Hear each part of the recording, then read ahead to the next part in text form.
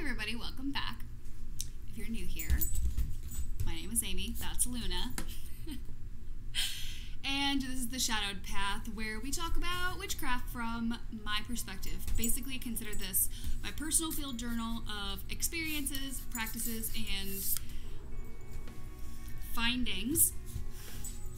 Um, some of the information I share here is good for beginners, and some of it's good for people who are more serious about their practice. But whenever you are, wherever you are, if that sounds like something that would interest you, um, please subscribe if you haven't already. Hit the bell icon and um, select all so you know when I upload because I'm still pretty inconsistent.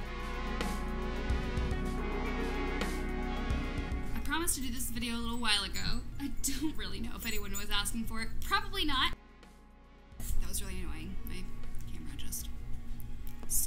Today's another menstrual prep. Per, Today is another menstrual blood prep video. And this time, it's different. This time we're going to be gathering and prepping. I'm going to show you how I gather and prep dr dry blood for use in like more of a powdered form for like incense or talismans or, you know, anything that would better serve using a dry substance. That is what this method is for. Mm. And I'm probably gonna ramble a bit, and I'm probably gonna a bit and rant some, so come along with me on this ride while I do that. I might also have to like sit on the floor or something so you guys can see me. Oh, that actually. Yeah, you still can't see my face. If I do this, we'll be fine, right? Right. Okay. Alright, that's an awkward angle if I've ever seen one. So I think I have everything that I need to get started. Got some nitrile, nitrile, nitrile, nitrile. Got some gloves here because sanitation and hygiene. So these are just your usual like powder-free medical gloves. Fits either hand. That's so nice because I'm using them on both of my hands. I got these from like Target, I think. This is a jar. It used to have dill relish in it. It was a really good, dill relish. it's gone now. For the sake of being like thrifty and not spending a bunch of money and also not being wasteful, I like to save glass jars from things. So like jam, relish, candles, various other things. Jars and jars with lids, especially.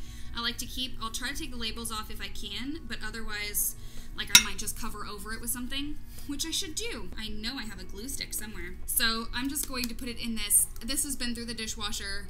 It's been in my storage stuff for a while. Speaking of, I'm gonna rearrange my magical storage area pretty soon. I was just given a beautiful hutch I'm going to use as my like apothecary hutch and well, apothecary. like I know apothecary stuff, please. That is not I'm not good at that stuff. That's not what I'm good at. But anyway, if you guys would be interested in seeing a video of me like setting that up and rearranging it and rearranging my bookshelves and everything, since I'm going to be doing that soon, let me know. I'll leave a comment in the down there and you can give it a, a thumb or whatever. I'd just like to have one of your thumbs, please. No, no, no, don't send me your thumbs. Anyways, jar, trigger warning. I'm about to show you a blade. This is a razor blade. Again, this channel is not for children.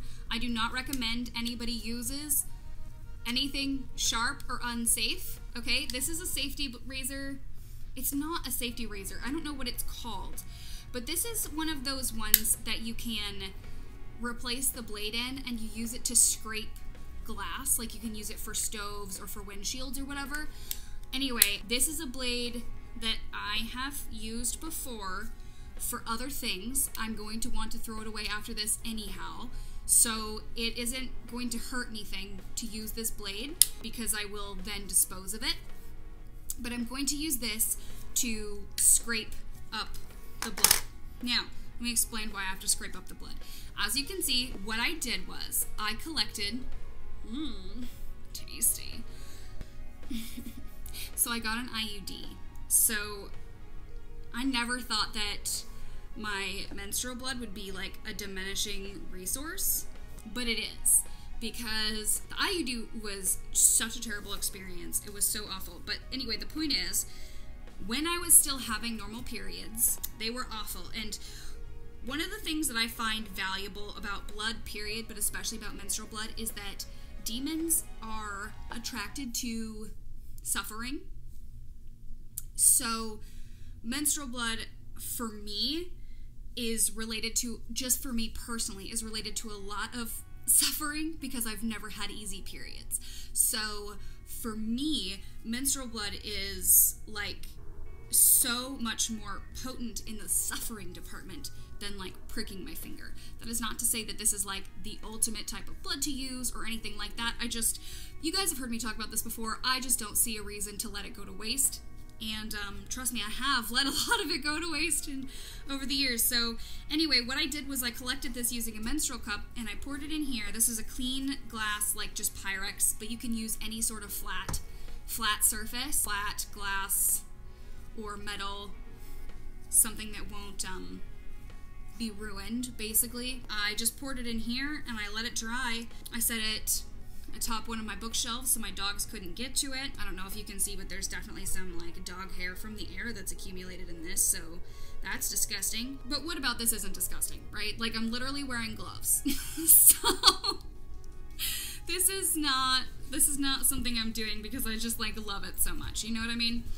Anyways, so what I'm gonna do is I'm going to scrape this dried mess up and collect it in the jar, and that's gonna be it. So, and while I do that, I'm gonna talk your ear off. So I got this IUD, and uh, so I guess one of the perks of IUDs is that uh, I guess one of the perks of IUDs is that you a person who has one, Luna, this is not for you. No, back up, please. Apparently, it can lessen or completely stop a person's periods, which is fantastic and not the reason I got it. But that is a happy side effect. Stop it. No. Luna, over here. Good girl. Settle. Settle. Settle. Good girl.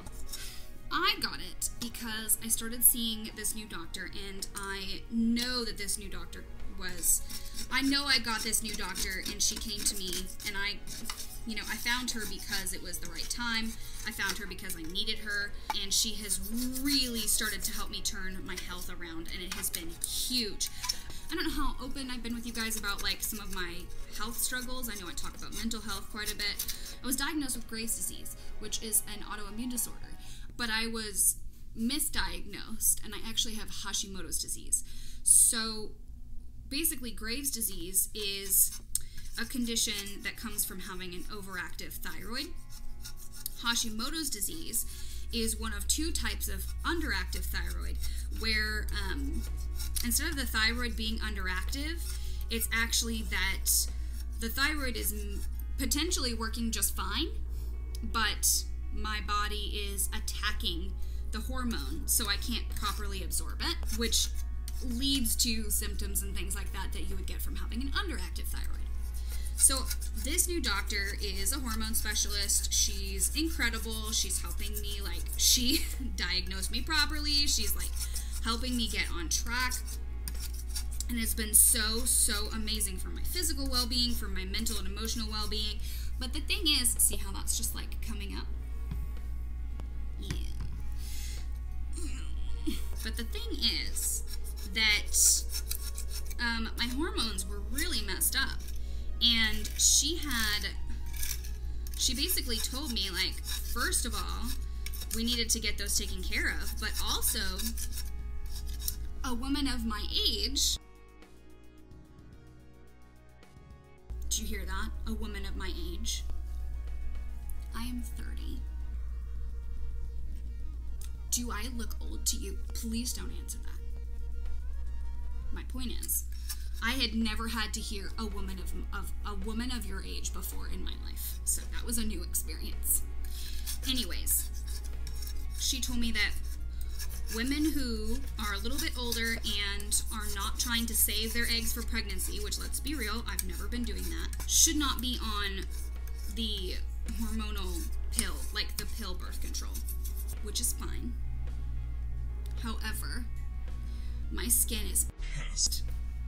My skin is so angry. My hormones are like whatever hormones it is it is that like directly affect like hormonal acne, which I really should probably learn more about now. Um, my skin is so angry. My face and my body are like breaking out, and it's awful. Anyway, I got an IUD because that is what she recommended for birth control that is safe and healthy and whatnot. Here's the thing, you guys medical science is misogynistic and disgusting, and I would never tell somebody not to go see a doctor or to stop taking medication or anything like that at all. But what I'm saying is that the experience of getting an IUD inserted and then living with it for the next few months is horrific. It's terrible. And it is not something that we would like. I cannot believe that we put people through this. I cannot believe that at this day and age, this is the most advanced, best option for like lasting birth control. Like that that to me is just all of that is to say I might not be having proper periods anymore, um, which means that this is now. How am I going to do this?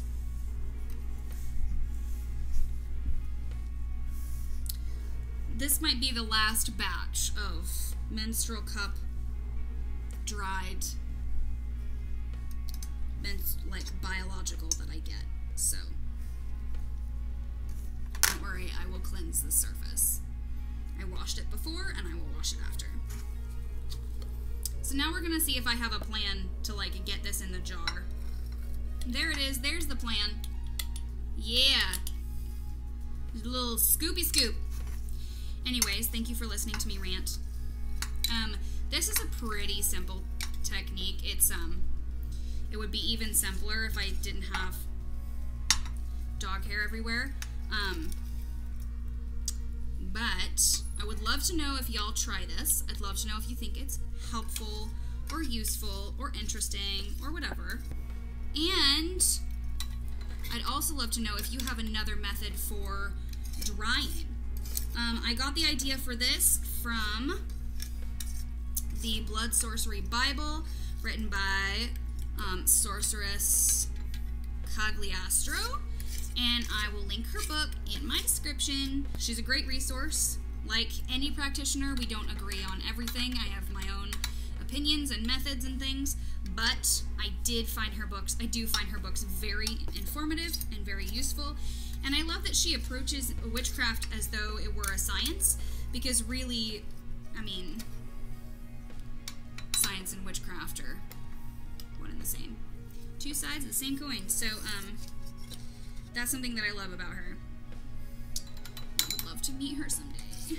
We shall see. We shall see. Everybody is so everybody is appeased. I will be sanitizing this entire surface. I will look at that. Look at that. I don't even know if you can see it. Can you see it?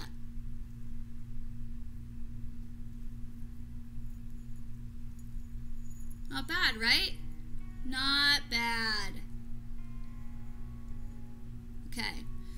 So, this is going to go with the rest of my um, collection of, you know, tools and things. These are going to go directly into the trash after I clean this up. These things are going to go in the dishwasher. This is going to go in the trash.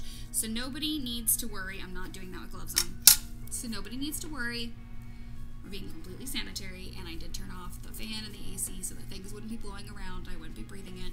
I wonder if I should have been wearing a mask. Maybe wear a mask, or make sure that your face is like away. If you try this, maybe do that. Thank you so much for joining me. Please remember to subscribe if you haven't already, like this video, leave a comment, check out my other social media, and I will see you next time. Have a blessed and beautiful day.